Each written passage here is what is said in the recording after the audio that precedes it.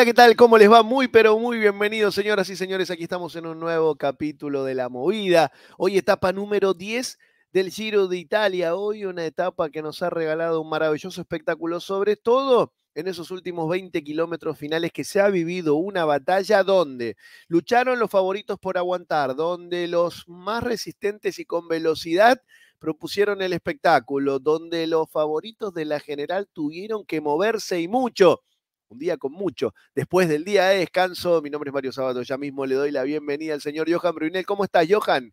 Buenos días.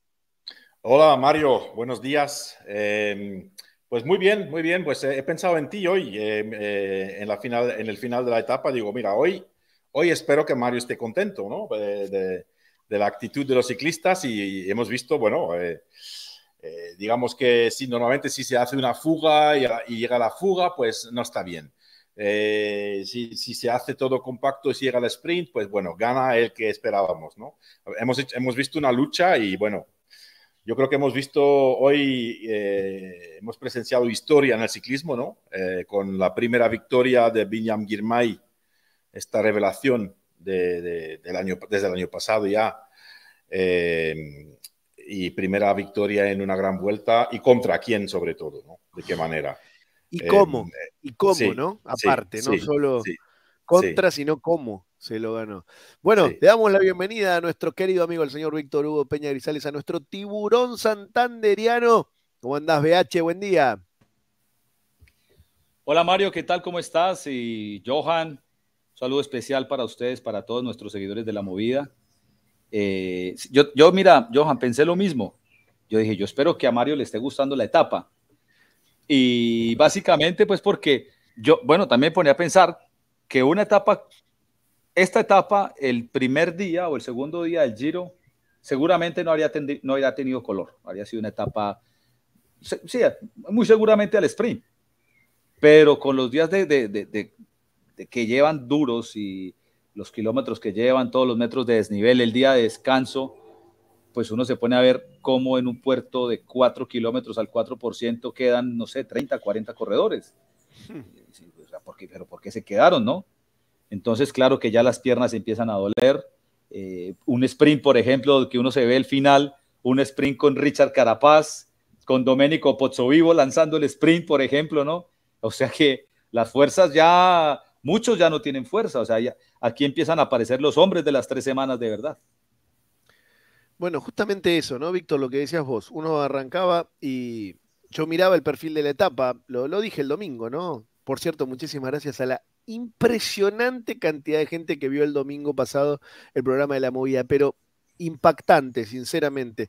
Y yo decía, bueno, esta segunda semana, segunda semana, ¿no? Porque los primeros tres días lo contamos dentro de la primera semana del Giro.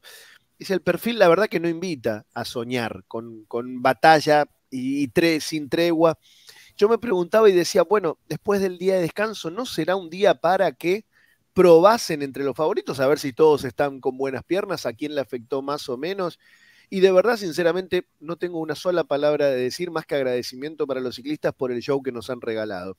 Los últimos 30 kilómetros fueron espectaculares y como les decía antes de arrancar, todos los actores entraron, porque veíamos los velocistas, los de Mar, los Cavendish, los Gaviria, los Iwan, tratando de aguantar Después los Van der Poel y Girmay, que son los dos velocistas tal vez con mayor cantidad de fuerza para, para soportar, tensando la cuerda a fondo y no solo tensando, sino también buscando estrategias para cortar. Pero también lo vi a Carapaz muy activo, a Pozzovivo muy activo, lo vi a Bardet defenderse y salir para adelante, el propio Mikel Landa haciendo fuerzas para aguantar. Sinceramente, hoy fue un día espectacular, un día de ciclismo que eh, uno dice, ¿por qué no lo vivimos todos los días así? Bueno, entiendo también lo que dicen ustedes, ¿no? Por ahí no se puede todos los días tener esta fuerza en las piernas como han demostrado hoy los corredores, ¿verdad? No se puede todos los días, la verdad. Hombre, hoy, hoy digamos que la primera parte invitaba ¿no? al ataque, sobre todo después del día de descanso, pero yo, yo la verdad que lo me equivoqué, me equivoqué en, pensar cómo iba, iba a ser el desarrollo de la etapa. Yo, yo pensaba que esto iba a ser una escapada, una escapada que mucho, más numerosa eh, que los tres y que, y que, bueno, que mm, los equipos de los sprinters pues no, tenían, no tendrían confianza para, para, para recuperar el tiempo, ¿no? Pero bueno, mira, eh, más no podemos pedir. Yo prefiero equivocarme y ver una carrera muy bonita. Vos, Víctor, ¿cómo la, qué, esperabas y qué viste? No, yo mira, ¿sabes qué me causó curiosidad? Que estaba tratando de recordar nosotros qué pronóstico hicimos en nuestro No hicimos pronóstico. Exacto. El domingo no hicimos pronóstico porque estuvimos tan locos con lo que pasó en que no hicimos pronóstico. Y entonces yo decía, yo, mientras estábamos en, nuestro, en nuestro programa, yo miré la etapa y yo dije, bueno, ahora hablaremos de la etapa, se nos fue el tiempo. Y yo decía, esta etapa jodida después del día de descanso, pero no lo dijimos. O sea, no quiero llegar yo a decir ahora que yo lo sabía. No, Simplemente yo quería decir. pero como ustedes no eligieron, no me lo puedo contar. Perdón, no, no, yo, yo no me imaginaba algo así, pero sí me imaginaba que iba a ser una etapa muy complicada después del día de descanso con esos con ese, ese perfil al final que parece que no pasa nada, pero es que después del día de descanso y en la mitad del giro ya hace daño. Y, cuando estaba viendo la etapa, digamos que no me sorprendió para nada ver ese grupo tan pequeño. Eh, no me sorprendió porque, pues, porque uno sabe que ahí las piernas duelen y realmente los que están fuertes son los que aguantan. Bien por Matthew Van Der Poel, por ejemplo, ¿no? realmente, realmente, realmente hizo falta un equipo Alpecin para romper el pelotón, porque sin este, sin este ritmo de este equipo, pues eh, yo, creo que, yo creo que gente como, como Demar y Gaviria entran. ¿eh? eh Demar estuvo muy cerca, ¿no? Demar fue el que, el que más. ¿Y Gaviria dónde estaba? Gaviria se quedó con Caleb Iwan y, no, eh, finalmente no volvió a entrar. Pero De Mar sí entró y volvió al final, ya no. De Mar llegó, mire, les digo, acá justo lo estaba anotando hace un ratito, eh, a un minuto, a un minuto 02 llegó Sacha Módolo, Chesbol, Nizzolo, eh, Arno De Mar, también Dainese, eh, ¿quién más? Magnus Kort, de entre los velocistas, ¿no? Vendrame. Llegaron todos en un pelotón bastante numeroso, de unos 40 corredores. Gaviria también llegó con ellos a un minuto 02, a un minuto 02. Sí, sí, yo creo, yo, yo, yo, he visto que, que Gaviria aguantó bastante, aguantó bastante. Sí, sí, sí. Sí, sí, sí. De hecho, yo creo que Gaviria se queda por el ataque de su compañero, Alessandro Covi, pero bueno, mm, creo que eso no sé si tiene algo que ver, ¿no? Si influye. Yo creo que yo, creo que no, Mario. Yo creo que atacó en el momento que le han dado eh, la luz verde. Decir, ok, Fernando se ha quedado, puedes irte. Eso sería lo lógico desde un coche, pero bueno, quién sabe, ¿no? Bueno, a ver, tengo un montón de preguntas. Eh, me gustaría arrancar primero por Richard Carapaz.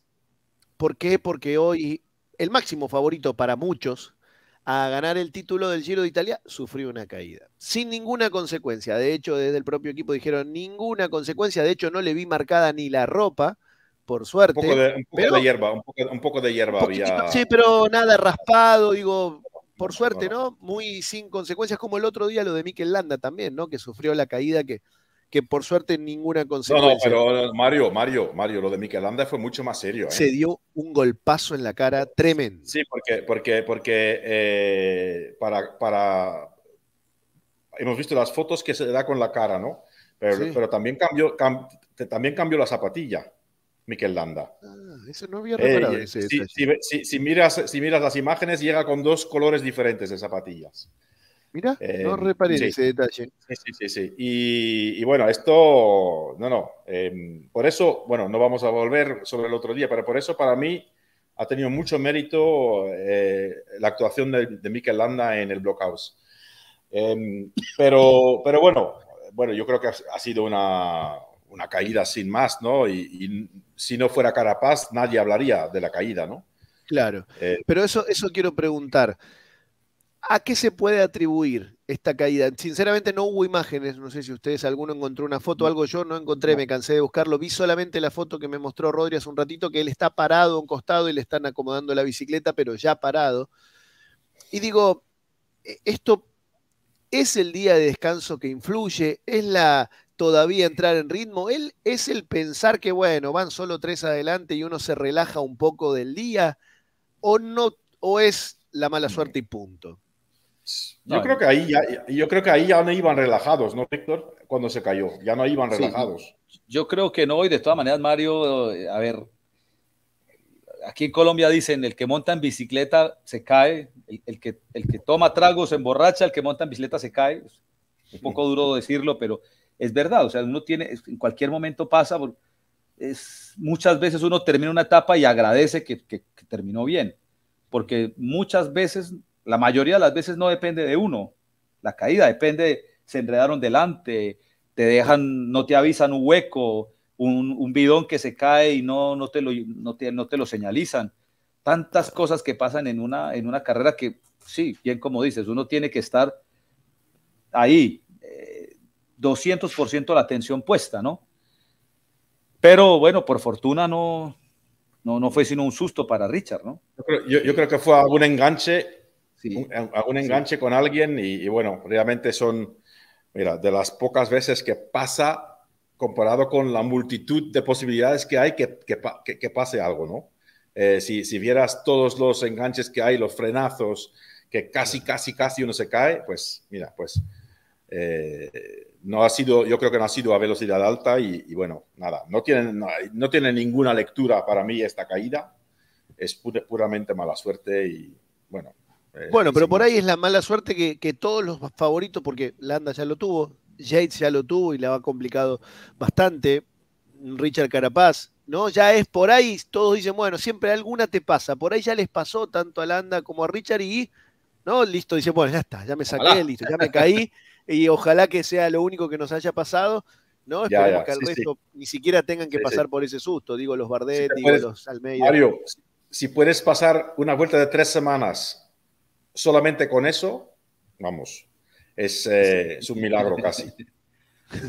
bueno, bien, bien. Ahora, el eh, Richard Carapaz, también fue un milagro que no le pasara nada en los últimos 10 kilómetros. Digo, un pequeño pinchazo, digo, cualquier problema mecánico. Estaba solo Richard Carapaz. ¿Cómo puede ser que un candidato a ganar un Giro de Italia con el mejor equipo, para mí sin dudas, del Giro de Italia, si no piensan lo mismo me lo dicen, que haya quedado solo en los últimos 10 kilómetros complicados, porque eran complicados los últimos 10 kilómetros del día. Ni un solo gregario acompañándolo a Richard Carapaz en los momentos decisivos de la etapa 10, ¿no? No de la etapa 18 o 19, de la etapa 10.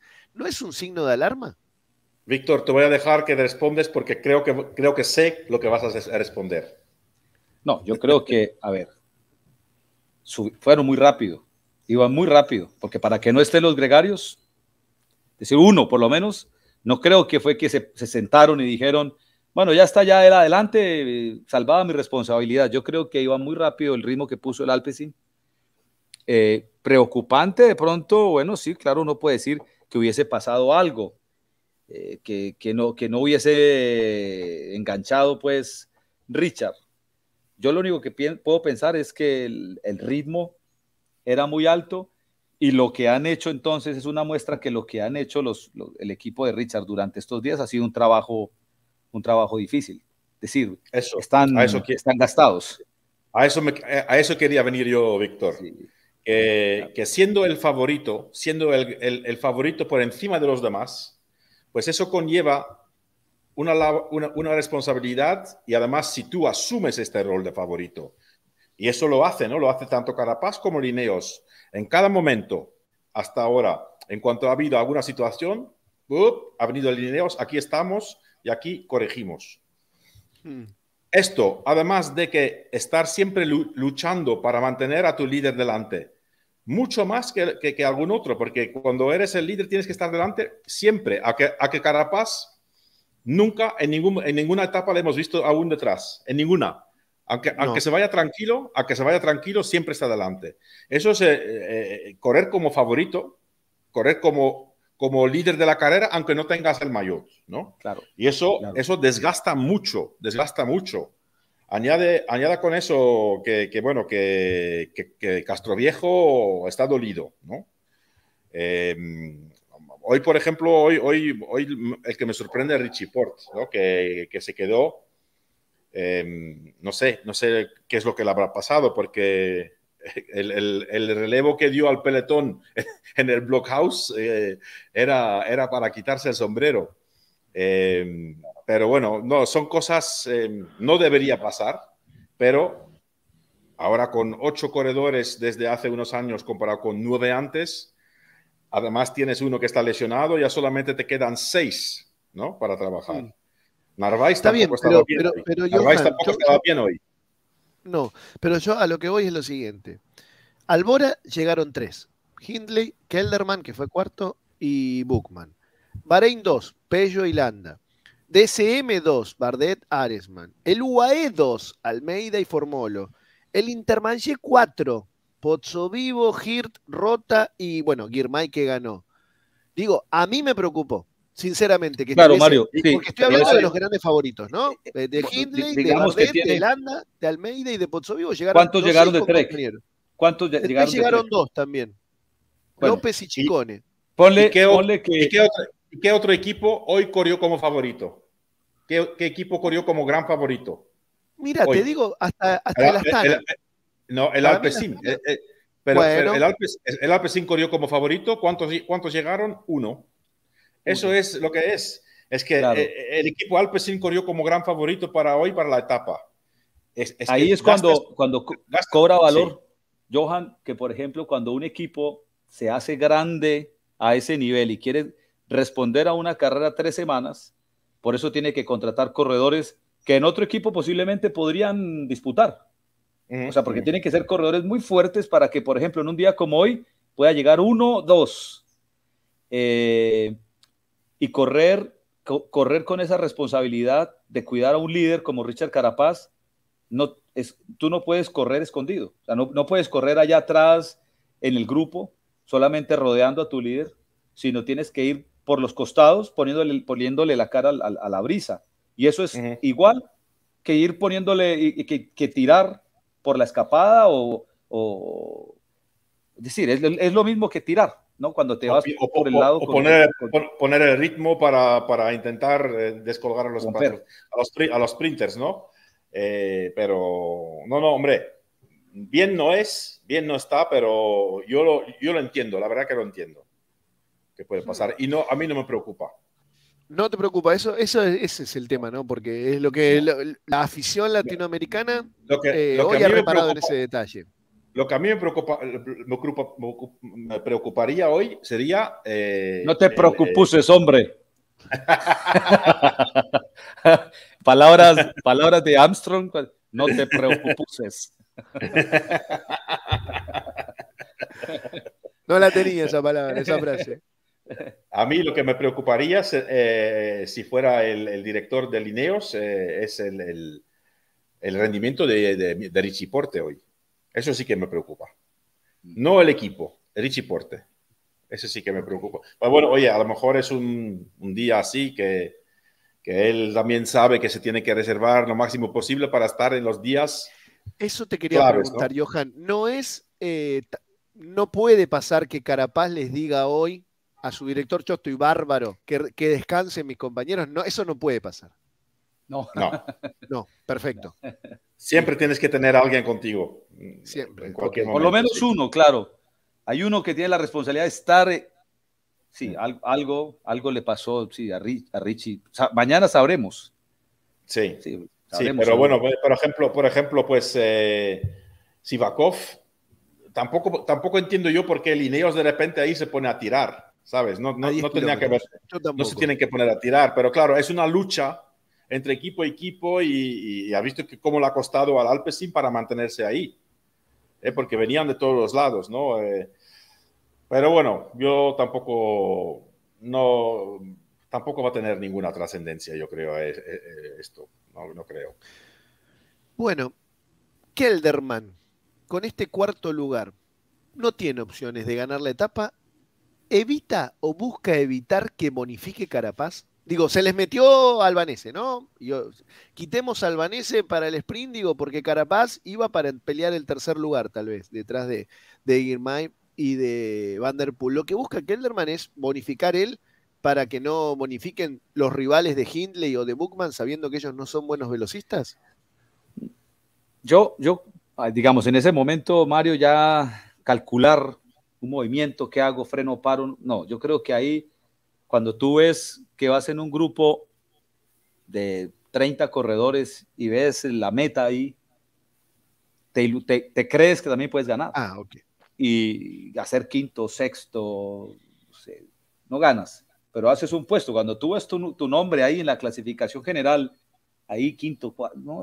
eso, eso emociona. Lo que siempre hemos dicho, es decir, es una competencia y al final ahí venían, venían todos encendidos. Cualquiera podía haber ganado ahí. Cualquiera que se hubiese anticipado y llegar a disputar ahí, pues, o sea, nadie tampoco va a querer frenar, a no ser que Pozo Vivo, por ejemplo, que lanzó el sprint y prácticamente no frenó, pero se quedó ya sin, sin fuerza, ¿no? Eso también dice mucho, ¿eh, Víctor? Que, claro. que, como iba todo el mundo castigados ya, que es Pozo Vivo, que le lanza el sprint. Eso, bueno, eso quiere decir que la velocidad no era alta. Claro, era para arriba el sprint, ¿eh? Dos, dos, dos y medio por ciento. Sí, exacto. Era, Sí, era donde, era donde, donde Alaphilippe ganó una etapa en, en la Tirreno. En la Tirreno, exactamente. Sí, sí, sí, sí, sí. Y, y, bueno, también quiere decir que Vivo está en una forma pletórica. Bueno, llevando el tema Vivo, ¿no se equivoca Vivo en romper la carrera que lo soltó a Girmay en el momento, a ver, lo tengo anotado por acá, a nueve kilómetros de la meta? Después del ataque de Kobe viene un contraataque y es Pozzo Vivo el que rompe. Lo marca Richard Carapaz, se va con el Almeida, Aníbal y todos muy atentos de Pozzo Vivo, pero como que lo vi justo a Guirmay como que hay una, algo que dice como que frenara, ¿no? Porque lo habían soltado a él. Y, inmediatamente viene el contraataque de Vanderpool que se va con Simon Yates, Formolo y Molema. Digo, ahí hay un pequeño de pecar de tener mucha fuerza de Pozzo Vivo y olvidarse del plan del equipo que era que ganara Girmay? Para mí no era necesario esto lo de Pozzo Vivo, porque, porque aunque se fuera, ¿a dónde, ¿a dónde iba a ir con seis o siete kilómetros que quedaban? No iba a ningún lugar, ¿no? Eh, entonces, bueno, no sé si esto ha sido una mala comunicación entre ellos o entre el director y desde luego yo creo que desde el coche no ha venido esta instrucción, ¿eh? Es imposible casi esto ha sido algo, una iniciativa de Pozzo Vivo en el momento mismo que se siente con buenas piernas y a decir, ok, voy a probar, pero la verdad que no, no, tenía mucho sentido esto. Víctor, ¿cómo la viste? Sí, son cosas, Mario, que ahí ya eh, ese calor del final, ¿no? Ese calor del final que, que es, eres, eres tú o soy yo, ¿no? Claro. Pero Seguramente si lo que dice Johan, si los, los, vehículos que siguen la carrera estuvieran ahí, ¿no? O, no tanto ahí, sino tuvieran la comunicación, la, señal pudiese llegar. Además que ahí hay que sumarle una cosa, puede ser que la, comunicación llegue. El caso es que ahí hay mucha gritería, está el helicóptero, hay muchísimo ruido, eh, es difícil escuchar. ¿no? Es, es, es difícil escuchar una, una, indicación. Entonces, si seguramente esa indicación llegara y la tuvieran, posiblemente vería uno, a, a, nuestro parecer, menos errores, ¿no? Lo que a nosotros nos parece de pronto error o por qué hizo esto, por qué no hizo lo otro. Pero es que ese es un momento, Mario, donde eh, tú escuchas un grito por el radio y ese, ese grito no sabes si es un grito de para o sigue, ¿no? Es, algo que yo, yo es el, grito más desesperado así que yo recuerdo, Johan, es cuando la primera crono por equipos del tour que hicimos y que nos caímos eh, en la crono, yo, yo escuché un tambor, o sea, yo escuché como un, un tambor, ¡pam! Y luego gritos por el radio, gritos. Pero, pero no sabíamos si los gritos eran de ánimo, de vamos, tira más, o para. Y de hecho nosotros nos demoramos en parar, no sé, 500 metros en parar. Sí, sí, sí. Eh, eso es angustiante, ¿no? Esa información tú no la tienes. No, perdóname, y, también... fue esa crono? ¿Recordás la ciudad? Hmm. Uf, Eperné, puede ser, no me acuerdo. Pero digo, era la locura de la gente que no les permitía escuchar el llovía, pero llovía, llovía, llovía, la velocidad, eh, sí, la, la, euforia de la carrera el, casco, el, casco, este. Pero, y luego, luego lo, que, la, lo que la gente tiene que entender también es que estas emisoras, ¿eh? porque no es como hablar por teléfono, ¿eh? es que la calidad no es tan, sabes, es que es algo, ok, a veces, a veces, dependiendo también de dónde está el coche, a veces no llega, dependiendo eh, cómo está el terreno, si, si es plano, si hay alguna montaña entre medio, pues esto, todo esto influye mucho, sabes, que no es así claro como hablar por, por un celular, para nada. No es podcast, no es un podcast. No, che, Víctor, perdóname, ¿y nunca te asustó que te hablen al oído vos que estás eh, poniendo todo y de repente alguien te habla en el oído? ¿Nunca te, te, asustó? No, algunas veces entraban en muchas interferencias, ruidos, ruidos, que, que, interferencias que fastidiaba y, eh, o sea, ¿qué haces ahí? Hay que hay que solucionar el tema. Y luego si tocas de pronto algún botoncito de esos, te cambias de canal. No, es, no, había, complicado. mucha, Víctor, muchas veces, bueno, casi y, en todos los equipos, eh, a veces eh, si hay uno del equipo que tiene el micro, que el botón de hablar se queda por cualquier razón enganchada. Prendido.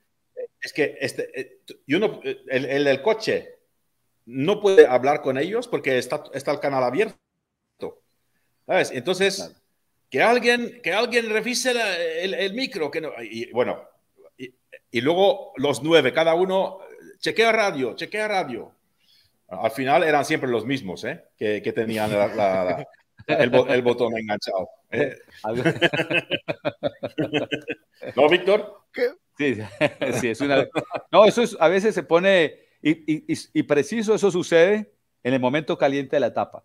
Cuando estás ah. tranquilo, eso no pasa.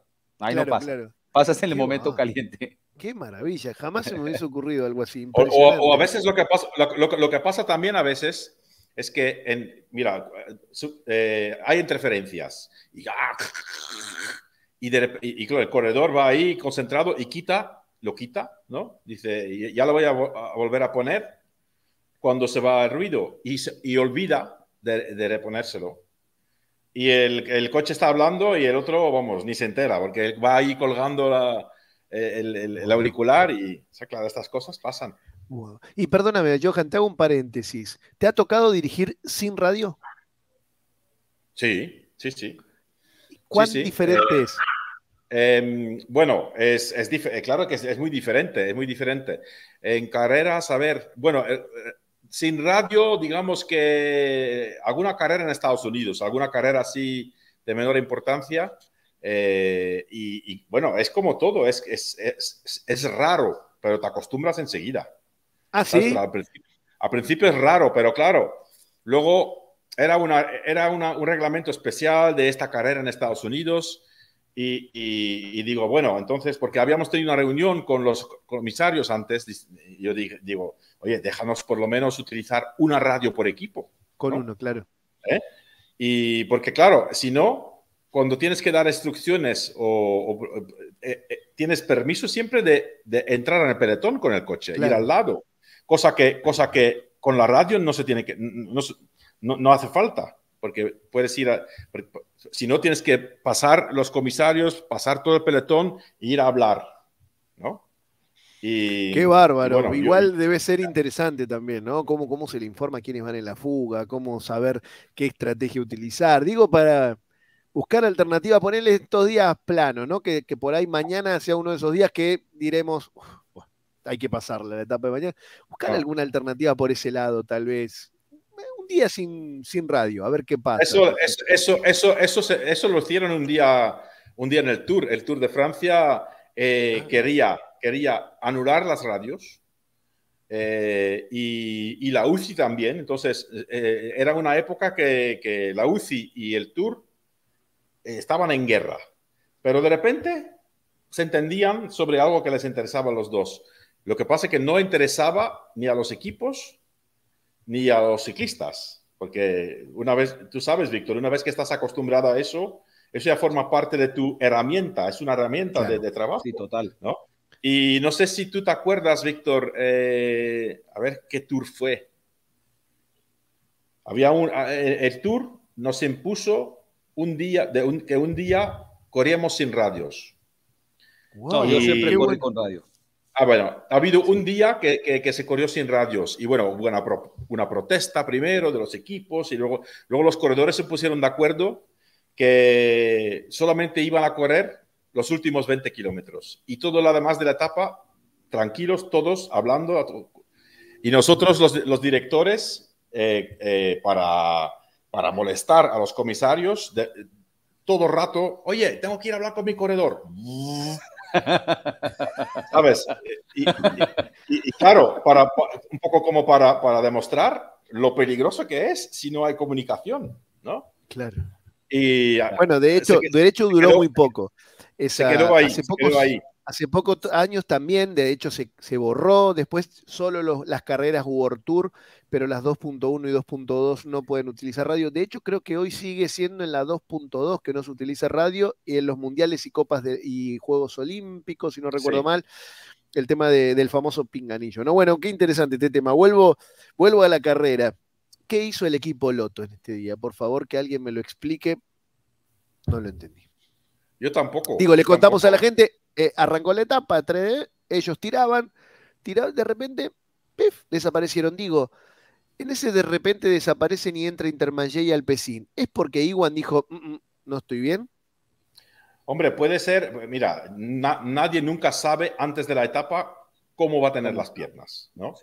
Entonces, yo creo que ellos lo que hicieron era, era tomar el mando de, la carrera para intentar hacerlo lo más tranquilo posible para Iwan ¿eh? y que no haya carrera, ¿sabes? Que no haya carrera, ¿no? Porque, porque en el momento que haya carrera, pues ya, y que, que, no haya carrera, que me, me, refiero a que se va, se va a un ritmo constante. Al ritmo de ellos, claro. Sí, sí, sí. Es lo único, es lo único, pero bueno, en, en la primera subida ya eh, Iwan estaba en problemas, ¿no? Sí, yo, yo me inclino a pensar más que Iwan tal vez diría eso, no, mira, no, yo no estoy, no, no. Sí, porque eh, cuando uno realmente está mal, rápido se da cuenta. Y bueno, es lo que yo puedo atreverme a decir para que ellos se hayan quitado así como de repente. Mañana, pues, mañana, mañana es la, última oportunidad de Iwan, ¿eh? Y de, y de Gaviria. Bueno, Gaviria no, Gaviria tiene más. Porque yo creo que a la 18 llegan, ¿o no? No, no. Iwan, ¿No llega a la 18? No, no, no, no, no, no, no, no. Iwan, yo, yo, yo pienso que dos etapas más y se va. Y si hace falta sin victoria de etapas, irá igual a casa. A ver, mañana es plano, etapa 12. Eh, etapa 12 ya es más difícil. Etapa 13 por ahí. Bueno, ya nos vamos a meter después en mañana porque todavía me quedan varias eh, opciones para, para preguntarles del día de hoy. Tengo dos preguntas de, de Matthew Vanderpool y después ya nos vamos a meter en Vinian Girmay.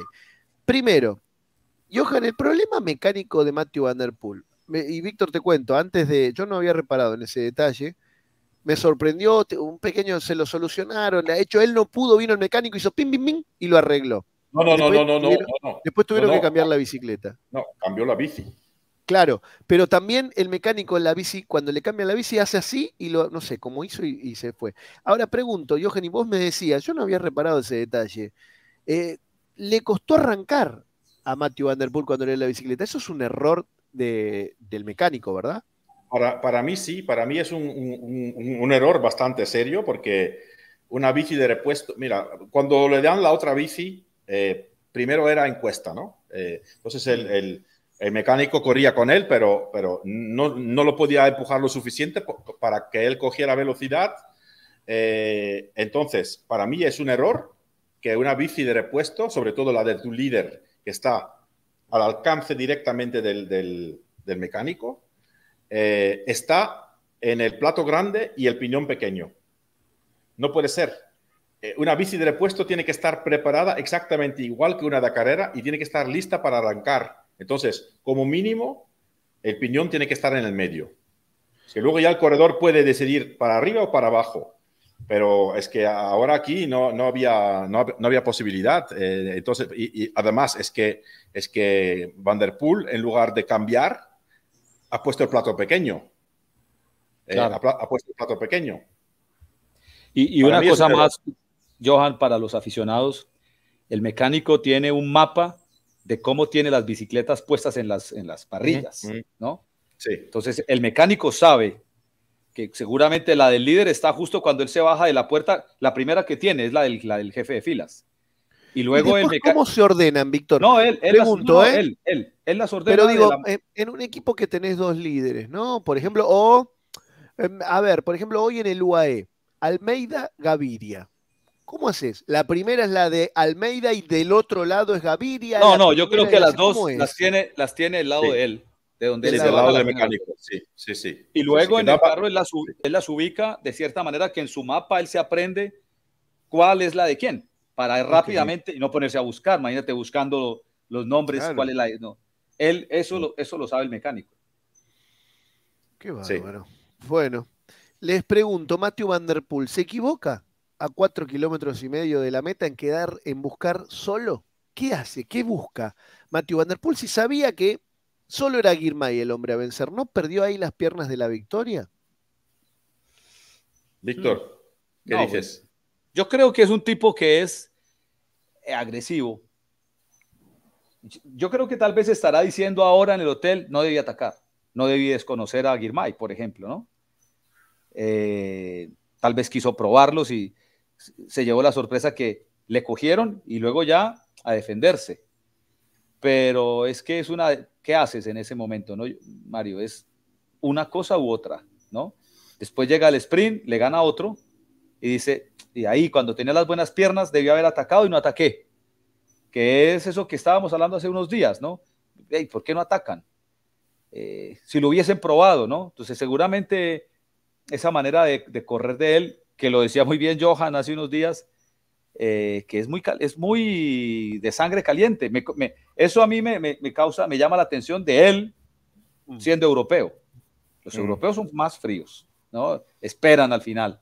Este va para adelante y quiere batalla. Yo creo, yo creo que, Víctor, yo, yo tengo otra opinión sobre lo de, lo de Van Der Poel. Eh, y el ataque, el ataque al final que hizo, que, lo, que no debía hacer.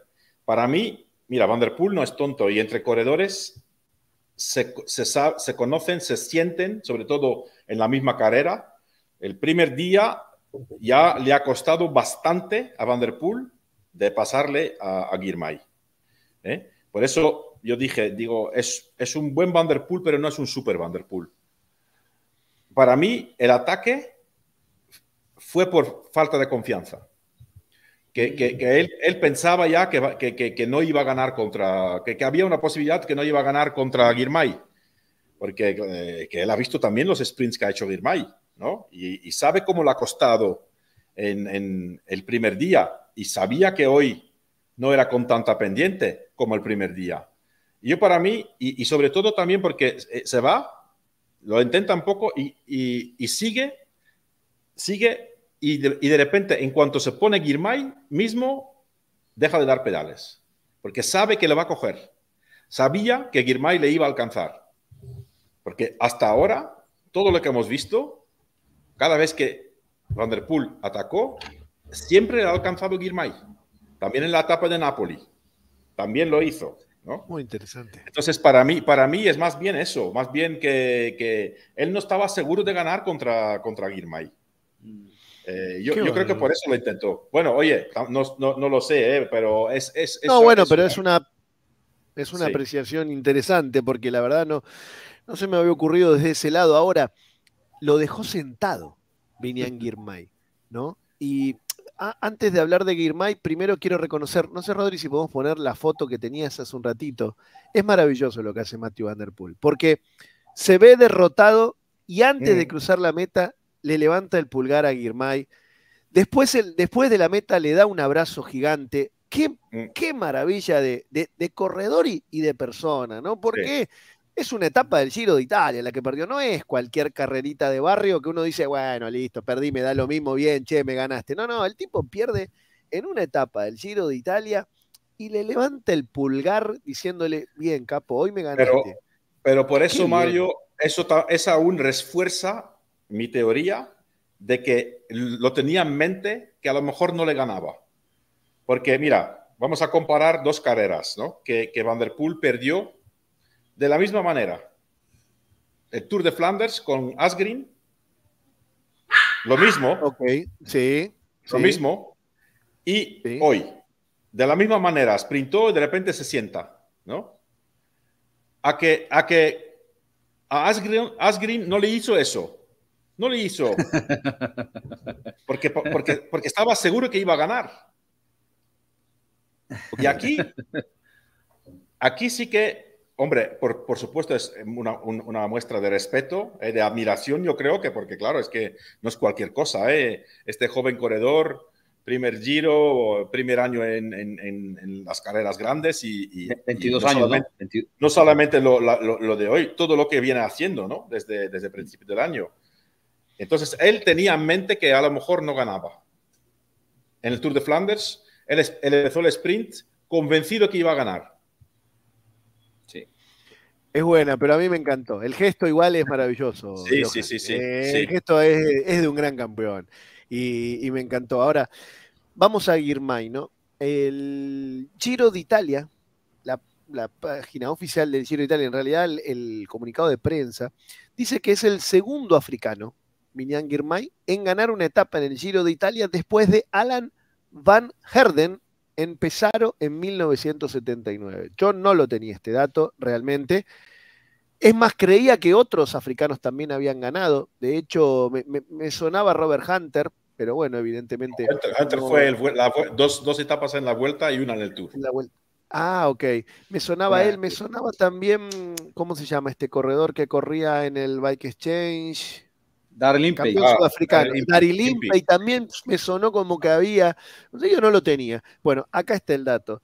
Pero qué valioso. Y qué importante, y qué maravilla lo que ha logrado hoy Vinian Girmay, ¿no? Historia grande. No me quiero imaginar si con la Gent Wevelgem, que es una carrera con el mayor de los respetos para, para Bélgica y para los que conocemos de ciclismo, es una carrera importante, pero no conocida a nivel mundial, si se quiere, y fue una fiesta única en Eritrea. No me quiero imaginar lo que es en este momento Eritrea y lo que significa Vinian Girmay para Eritrea. Yo lo comparo en serio al nivel de un Maradona para, para Argentina un Messi para Argentina o no sé, eh, una figura de ese nivel, ¿eh? de ese nivel de, popularidad gigante en un país.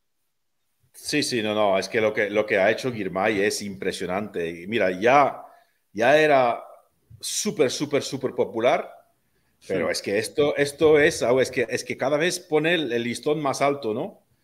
Y, ojo, ojo, ¿eh? tal como va, que no se lleve eh, la, la, camiseta chiclamino. ¿eh? A tres puntos de Demarque. Sí, sí, sí, sí, sí. Y... ¿Cómo está el ojo? ¿Se sabe algo del...? ahora vamos a, vamos a ver. vamos a ver, es que vaya mala suerte. ¿eh? Oye, ¿cómo puede cambiar las cosas en un instante? ¿eh?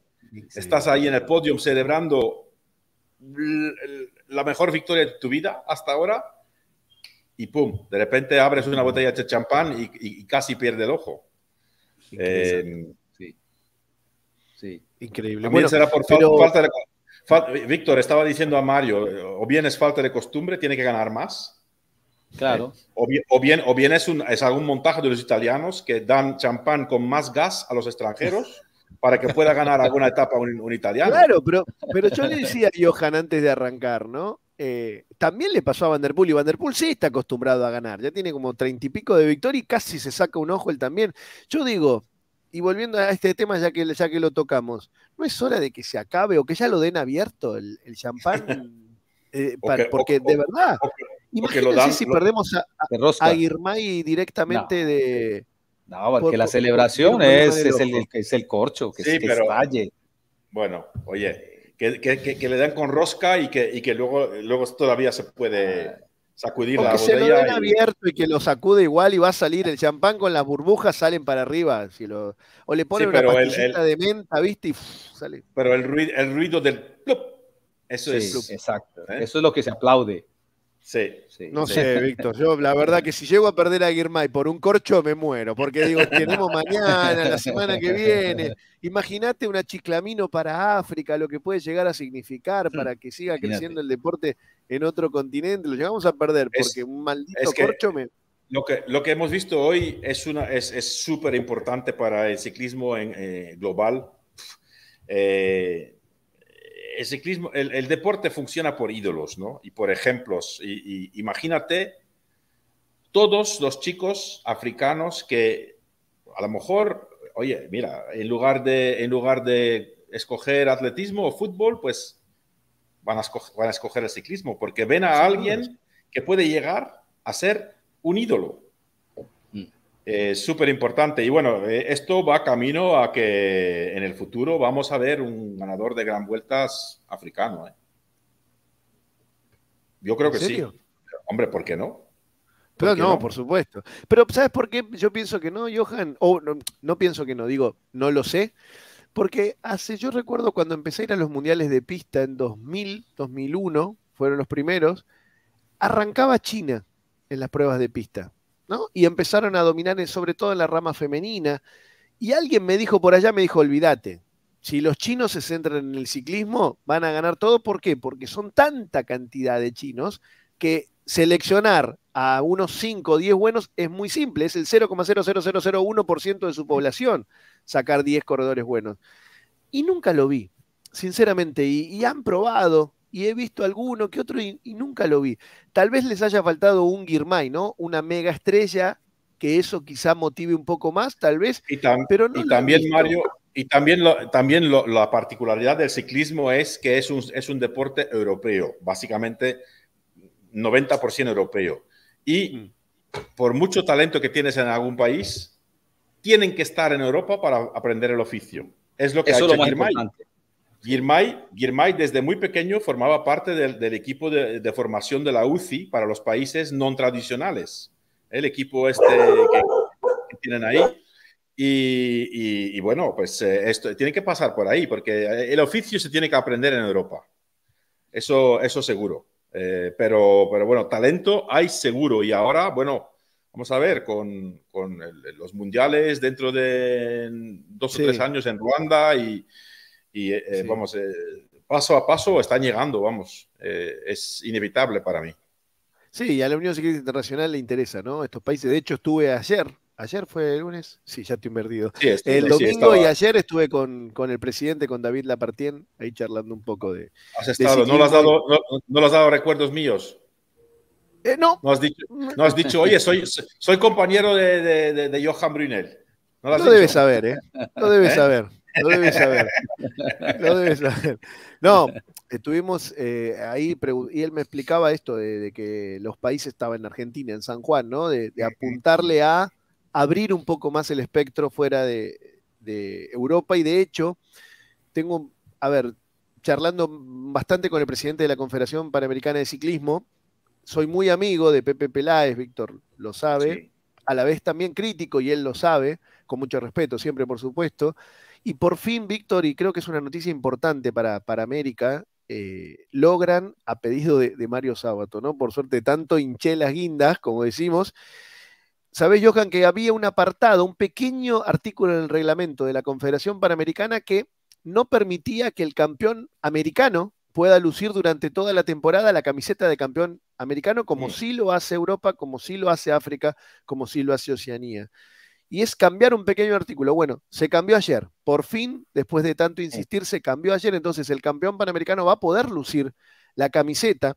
Ahora bien, el otro pedido que yo vengo haciendo hace mucho tiempo es que por favor no coincida más el Panamericano con el Giro de Italia, que habitualmente se hace entre abril y mayo, y las figuras no pueden venir. Bueno, lo otro que se ha modificado es que el Campeonato Panamericano va a ser en febrero el año próximo para que los World Tour puedan estar presentes. Así que creo que han sido dos cambios importantísimos para el ciclismo americano que le va a dar el valor. Ahora ojalá respondan las figuras del World Tour, ¿no? Ojalá los treinta y pico corredores World Tour de, América que hay le den el ok y peleen y luchen por esa camiseta de campeón panamericano, que me parece que es un prestigio muy importante, ¿no? Que puede y, es que así será importante, Mario, porque entonces, digamos, eh, Johan, aquí para esta parte en América hay unos Juegos Panamericanos que se hacen cada cuatro años. Sí. Y allí sí que va la selección de Canadá y la selección de Estados Unidos y, sí. ¿no? Pero para los campeonatos. Es el último campeón. pero para los panamericanos de cada año, como los campeonatos de Europa, a, veces que hasta los, los, eh, Estados Unidos no viene, Canadá no viene. Entonces, al final, los corredores que corren por las selecciones, de pronto la, la, va la selección B porque la A está. sí, hombre, no, sí, si hay un, Ni un solo campeón, si hay un mayo de campeón y, y se puede llevar, esto va a cambiar mucho. Va a cambiar mucho. Eh, totalmente. bueno, pues yo voy a empezar con mi campaña para ver si los conseguimos. Creemos que es Panamá, Víctor, en febrero del año mm. próximo. Está entre Panamá y San Juan. Ojalá que sea en Panamá, que es lindo Panamá, ¿no? Ya fue este año allí en San Juan. Así que bueno, bueno, compañeros, mañana tenemos esta etapa porque se nos ha volado el tiempo hoy, un día más, muy rápido, increíble. Etapas que yo pensé, y a veces digo, ¿no? Ay, ¿de qué vamos a hablar mañana en la movida? Todo el día, una hora, ¿cómo llenamos? Bueno, se nos va volando y me quedaron mil preguntas acá todavía anotadas. Mario, otro, día, otro día más de, Mayor Rosa para Juan P. López. ¿eh? Otro más, tal ¿Eh? cual. Y, tal como, mañana también tal como, tal como, sí, sí, claro, claro. Y tal como va, pues hasta el fin de semana yo creo que, yo, creo que puede coincido, llegar. Johan, yo creo que hasta el domingo no va a tener problemas en, en, defenderlo. Esta es la etapa de mañana. Voy a anotar favoritos, por favor, porque esto de, de que hoy. A ver, yo el, único día que elijo a Guirmay y que acierto, ustedes no habían votado, así que no lo puedo contabilizar. Qué lástima. Víctor, ¿quién es tu favorito para el día de mañana? De Mar de Marradeachi. Johan. Yo diría, bueno, eh, normalmente, mira, mañana tiene que ganar, tiene obligación de ganar Caleb Ewan, ¿no? Pero no le veo yo, no le, no le veo yo, no sé, hombre, a lo mejor mañana, eh, mañana es una etapa llana y, gana, ¿no? Pero eh, voy a decir a, a, quien me gustaría, yo voy por Gaviria. ¿Coincidís conmigo? Ah, sí. Muy bien. Muy bien. Sí, a mí también me gustaría que mañana gane Fer. Sí. La verdad que sí. Creo que mañana puede ser el. Debe ser. Yo creo que también está obligado, Fernando. También está obligado. Mm, Caleb Ewan más porque este se va a ir a casa antes. Sí, el Loto necesita mucho más la victoria, ¿no? Que, que Fernando Gaviria, es cierto. bueno, además, eh, es, un, es, un, equipo que de momento, bueno, están ahí en la lucha de los puntos, pero también interiormente parece ser que es un, un caos. Eh, ah. Creo que hoy o ayer dimitió la, la mano derecha de, del manager de John Lelange, dimitió, una chica que está ya desde hace más de 10 años ahí. Y hoy también se manifestó eh, Tim Wellens, que, no quiere seguir con el loto, aunque tenga oferta que no quiere seguir con el loto. Eh, ahí hay mal, hay, hay, mal, hay mal, mal, rollo, algo, algo no funciona bien ahí. Hmm. Y, bueno, vamos a seguirlo entonces. el, año pasado, salieron personas que habían estado siempre en el, en el loto, ¿no? Sí, sí, fue, eh, eh, Herman Frison y Marc Sergent. Claro, que estaban ahí casi. sí. sí. Bueno, vamos a seguirlo atentamente entonces a este tema del Loto Soudal. Nos vamos, Johan. Chao, Víctor. Chao, Mario. Chao, Johan. Hasta mañana. Muchísimas gracias. Nos vemos mañana.